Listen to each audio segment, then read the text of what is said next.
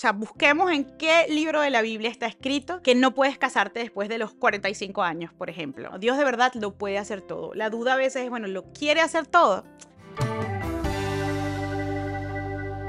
A lo largo de mi tiempo haciendo videos para este canal y esta plataforma, he tratado de explicar por todos los medios posibles que la esperanza de la vida personal de las mujeres y los hombres nunca es casarse, un matrimonio, formar una familia, que no encontramos nuestro propósito de vida en el matrimonio y que nadie que esté en Cristo está incompleto o es insuficiente. Si tú nunca has escuchado esto o te genera ruido o te deja con angustia, de verdad te invito a que visites alguna de las listas de reproducción que tengo en este canal para que entiendas cuál es la base, el fundamento bíblico que yo le doy a estas enseñanzas y recordarte inclusive que escribí un libro completo acerca de una verdadera visión bíblica de la soltería, que es un regalo que Dios te ha dado para que puedas disfrutarla y crecer en él. Pero hoy quisiera abordar un tema que quizá puede ayudarte a recordar que la vida no tiene que verse como la sociedad trata de decirnos que tiene que verse. Es decir, no tienen que ser exactamente los tiempos, las formas, el momento de tu vida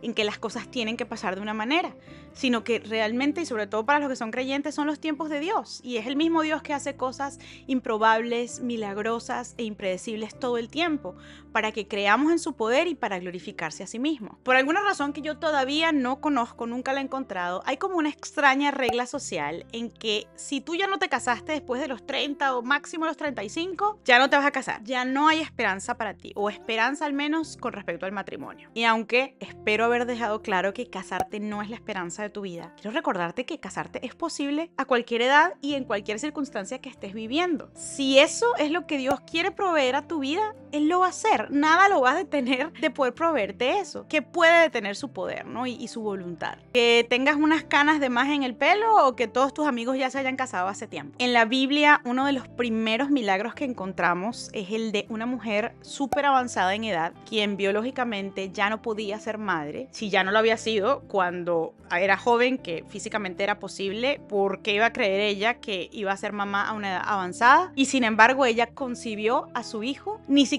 como ella trató de hacerlo pasar por medio de su sierva, sino cuando y como Dios quiso hacerlo. También encontramos a una mujer viuda y con poca posibilidad de redención según las reglas de la sociedad de ese entonces, que se casó con el hombre que Dios proveyó a su vida para un propósito muy superior solamente al del matrimonio. Y aunque la historia de Ruth no se trata de encontrar el amor romántico, y te voy a dejar un estudio bíblico que hice el año pasado completo donde te explico por qué esto es así, creo que sí es una huella y sí es una buena referencia para entender lo que Dios quiere hacer en nuestras vidas y cómo lo hace según su voluntad y su amor por nosotros. Y yo sé que tú sabes que, como estos dos ejemplos que usé, son muchos los milagros que vemos en la Biblia, en donde la vida de las personas iba en una dirección determinada y el Señor llega y cambia ese rumbo por sus propósitos. Y por supuesto que voy a estar diciendo esto cada cinco minutos del video, pero obviamente no estoy hablando que el propósito de Dios es que te cases, sino que ese casamiento, si te lo quiere dar, puede ser un instrumento usado para sus propósitos. Quizá eso es algo, es una forma en la que Él quiere ayudarte a crecer en Él y usarte a ti y a tu familia para su reino. Yo siempre he pensado que es hasta cierto punto bastante absurdo pensar que todos los acontecimientos en la vida de todas las personas que existen en el mundo tienen que suceder al mismo tiempo y en el mismo orden, en la forma en la que le suceden a los demás. Nuestras vidas están diseñadas y pensadas por un Dios que es creativo, que es soberano, que es poderoso, bueno, amoroso, para quien literalmente los límites no existen. Entonces, ¿por qué nuestras historias, que están pensadas y concebidas para darle gloria, deberían ser todas exactamente iguales? Casarte al mismo tiempo, tener la misma cantidad de hijos, en las mismas circunstancias, al mismo momento, donde es socialmente aceptable, donde nunca hay ningún reto biológico, donde nunca hay ningún problema. No, las vidas de las personas no se ven de esa manera y yo creo que eso es parte de una provisión soberana y amorosa del Señor. Si Dios desea darte el regalo del matrimonio, si tú has orado por ello con manos abiertas, que quiere decir que no es como dame eso si no me muero, sino Señor, yo te presento mi anhelo porque la Biblia dice que lo puedo hacer, pero aún así aquí están mis manos abiertas para que tú me des lo que tú quieras darme sea eso o no. Yo creo que puedes descansar en que si Dios así lo quiere, lo va a hacer. Tu edad no es una limitante para ello. O sea, busquemos en qué libro de la Biblia está escrito que no puedes casarte después de los 45 años, por ejemplo. ¿Dónde se denota un impedimento de que si Dios pasó 45 años sin darte un esposo, no te lo puede dar al año 45 y un día? No hay reglas para eso. Y quizá tú estés pensando, porque yo sé que yo estuve allí en mis años de soltería, bueno, pero es que lo que sucede no es que quizá Dios no quiera o no, o no suceda, es que no hay hombres, no existen hombres. Primero quiero decirte que ese es un pensamiento un poco pobre, yo también lo tuve. Puede ser que estés en una realidad en la que observes y digas, sí, es cierto que hay un mayor porcentaje de hombres que están casados a la edad que tengo, vamos a poner una edad, a los 40 años. Y los hombres creyentes no abundan estando solteros y por eso es imposible que yo me case, porque no existen. Una vez una persona, cuando yo estaba en estas mismas preguntas a mis 30 años, me dijo algo que en el momento me dio esperanza y yo sigo creyendo que es verdad. Me dice, si Dios es tan abundante en todas las cosas, también es abundante con su pueblo. Es decir, que tú pienses que porque tú no conozcas a un hombre idóneo para ti, una persona con la que tenga sentido compartir tu vida, que ame a Dios, que te guste, con la que tengas cosas en común, con la que pudieras formar una familia, el hecho de que tú no lo conozcas todavía no quiere decir que en la totalidad del universo él no exista. Dios puede proveer así. Yo siempre lo he dicho, así como te provee dinero, como te provee oportunidades, provee personas a tu vida. El hecho de que no estén en, tus circunstancias, en tu entorno, no quiere decir que no puedan llegar a tus circunstancias o a tu entorno o tú puedas ser enviada a las circunstancias de esa persona. Quisiera detenerme solo un momento para recordarte que es posible apoyar la creación de este tipo de contenido al unirte a mi plataforma de Patreon, el Patreon de la vida clara. Al unirte, estás haciendo posible que yo me dedique a preparar este tipo de videos, a escribir libros, artículos para la edificación de la iglesia y que participe en facilitar herramientas para que la iglesia continúe creciendo en torno a una visión bíblica de la vida. Son cuatro los niveles de apoyo disponibles en Patreon y puedes elegir el que esté más a tu alcance o el que más se acerque a lo que te gustaría comprometerte y recibir sus beneficios. Quisiera recordarte que al convertirte en Patreon vas a tener acceso a todo esto que sale en pantalla, canal exclusivo de Telegram, encuentros de Zoom,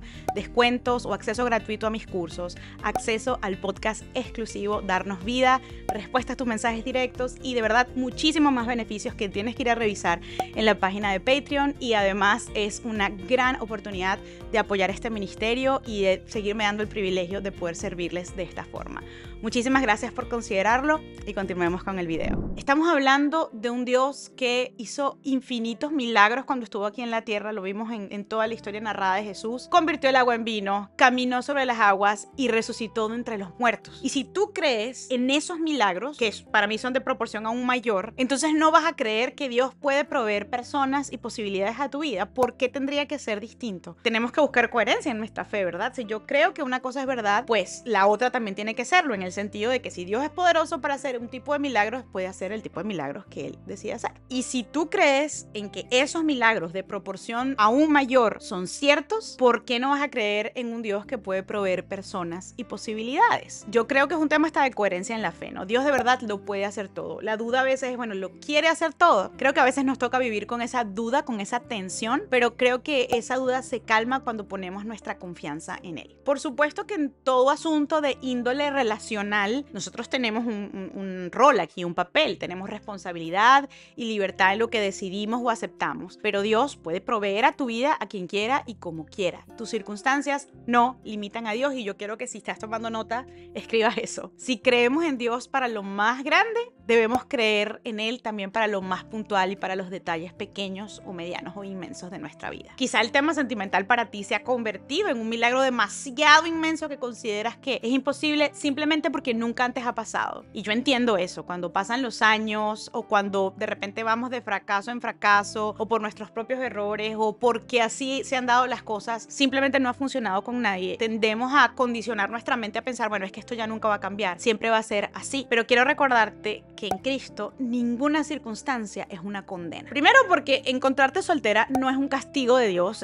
quiero que lo recuerdes, no es una penitencia, no es un problema. Pero también recordar que Dios puede cambiar las cosas cosas de un día para otro si así lo quiere hacer. Tú puedes descansar en la bondad del autor de tu historia siempre. Pase lo que pase, va a ser una historia buena porque empezó con Él y va a terminar en Él, independientemente de qué pasa en tu vida sentimental. Pero tú tienes que confiar en que el amor de Dios por ti es tan grande que dio a su único hijo para que tú no te perdieras, sino que tuvieras vida y vida abundante y que gozaras de una vida eterna. ¿Tú crees que ese mismo Dios que te ama con esa intensidad va a dejarte de dar algo que tú necesitas? Con esto no estoy diciendo que todo el mundo se va a casar. La Biblia nos habla de gente que tiene ese don y que tiene ese regalo para toda la vida o lo tiene por un periodo de tiempo. Veces hay gente que se casa y luego enviuda y vive un resto de vida de soltería. Es, son muchas las circunstancias que vivimos y lo más importante para vivirlas es saber que nuestro bienestar, que nuestra plenitud, que nuestra llenura como personas está en Cristo, pero sabemos que a medida que caminamos esta vida, Dios no nos niega nada que Él considere necesario y bueno para nuestras vidas. Este es el mensaje para ti. Si tú has perdido la esperanza en que Dios puede hacer, en que te puede dar o en quizás estás resentida con Dios porque han pasado 30, 40, 50 años de tu vida y esa persona nunca ha llegado, yo te pido que hagas una oración que tenga dos partes. Y la primera es ofrecerle a Dios el resto de tu vida, es comprometerte una vez más con el Señor a que tú recibes gozosa y con manos abiertas lo que sea que Él tenga para tu vida, el regalo de la soltería o el regalo del matrimonio. Y una vez que tú lo hagas de todo corazón y, y sin fingimiento, genuinamente, que sepas que tu plenitud, que tu bienestar realmente reposan en Cristo, pasa una segunda parte de la oración y dile, Señor, perdóname si yo he dudado de tu poder para hacer las cosas, si he dudado de que tú puedes enviar a una persona, a la persona que yo anhelo para compartir mi vida. Por favor, Señor, hazlo pasar y que yo vea tu poder y que de tu testimonio. Yo creo realmente que vas a darle un testimonio, un buen testimonio al Señor, sea que te cases o no te cases, pero este mensaje de hoy realmente es para animarte a renovar tu fe en que Dios puede hacerlo todo pasar. Si necesitas una historia más de ánimo, yo te voy a dejar por aquí arriba la historia de cómo conocí a mi esposo, que fue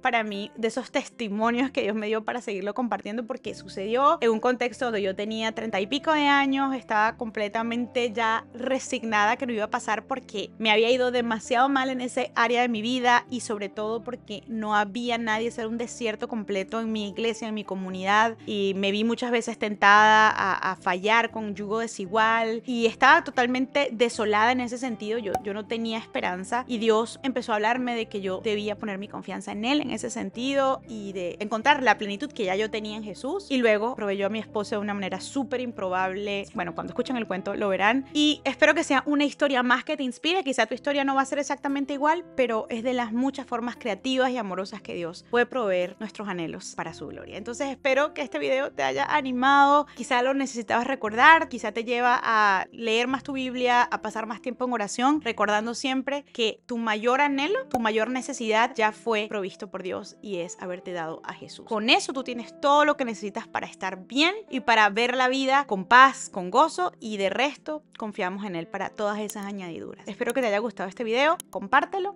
y nos vemos en el próximo.